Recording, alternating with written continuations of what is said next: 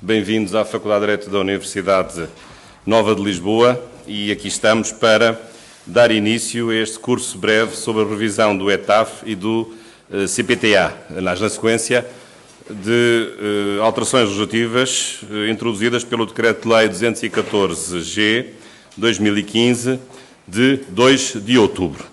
E nesta circunstância, nesta pequena cerimónia singela, gostaria de dar as boas-vindas em nome da Faculdade e saudar os ilustres membros da mesa, começando pelo Sr. Presidente do Supremo Tribunal Administrativo, Dr. António Calhau, que nos deu o gosto de também estar connosco nesta abertura. Eh, saúde, Sr. Presidente. É um amigo da casa. Eh, sempre que nós eh, pedimos a sua colaboração e a sua presença, o Sr. Presidente nunca nega a sua presença e agradecemos muito e agradeço em nome da Faculdade a sua presença. Também gostaria de saudar o professor Freitas do Amaral, que fará a, primeira intervenção no dia de hoje.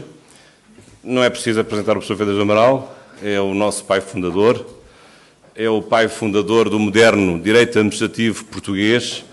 Todos nós podemos aprender pelas suas lições e é com emoção, naturalmente, que o revejo aqui. Ele continua a ser nosso professor, um excelente professor, como sempre foi, e esta será sempre a sua casa. Muito obrigado, Sr. Professor, também por ter aceito eh, esta responsabilidade e, esta, e agradeço muito também a sua presença. Aqui estamos para o ouvir ansiosamente. Também gostaria de cumprimentar a senhora juíza desembargadora Ana Celeste Carvalho, que desta vez também se juntou à faculdade para organizar eh, este, este curso e que fará também eh, hoje a sua intervenção, a seguir à intervenção do professor eh, Diogo Freitas do Amaral, portanto, na segunda parte desta sessão de hoje. As sessões têm, uma, têm a seguinte estrutura. Começam habitualmente às 18 horas e terminam às 21 horas eh, segunda, quarta e sexta. Eh, hoje começamos um pouco mais tarde por razões de agenda dos intervenientes, mas eh, começaremos sempre nas próximas sessões às 18 e terminaremos às 21. Habitualmente por volta das 19h30, 19h20, 19h40 há um intervalo para também poderem descansar um pouco e poderem até beber um café. A faculdade depois tem ao longo dos corredores várias máquinas de, de café. Julgo que é importante esta iniciativa, se não estou em erro, será a primeira iniciativa do género em Portugal, eh, tendo sido aprovado tão recentemente este conjunto de alterações, portanto, também aí fazemos jus ao nosso pioneirismo, neste caso, por termos eh, organizado de uma forma tão célere e com elevada competência este curso, que pretende precisamente ao longo destes, eh, destes cinco dias tratar dos diversos temas que esta reforma do ETAF e do, do CPTA implica. E, e neste momento também dirijo uma, um agradecimento especial à doutora eh, Ana Celeste Carvalho, porque de facto ela eh, foi a alma também da organização deste curso e a Faculdade também por isso só lhe pode estar eh, muito grata.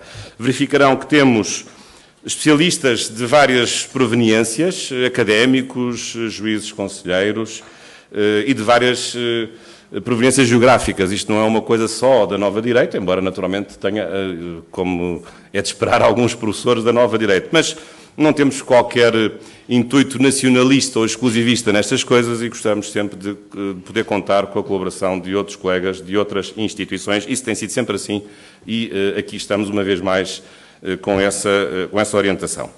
Eu, desta vez, neste curso, não tenho uma intervenção agendada, mas estarei por perto a acompanhar os trabalhos.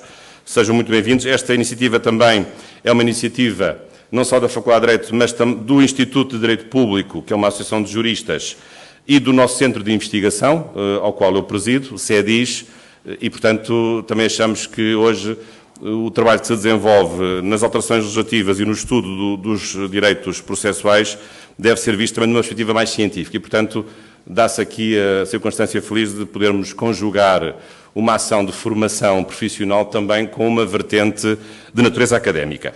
E para terminar, antes de passar a palavra ao Sr. Presidente do Supremo Tribunal Administrativo, também vos dou a notícia, eh, para que quem quiser, de que hoje mesmo saiu uma nova edição deste livro, que em tempos tinha organizado quando fizemos aqui os cursos sobre o novo CPA. Eh, agora saiu a nova edição, já com as alterações precisamente trazidas por este Decreto-Lei 214G. Aliás, tenho muito gosto em oferecer este livro aos nossos três membros da mesa e, e, espero que este livro lhes faça bom perfeito. É um livro meramente legislativo, não é uma obra doutrinária, mas é um começo e espero que isto seja útil para os seus trabalhos. Muito obrigado pela vossa presença.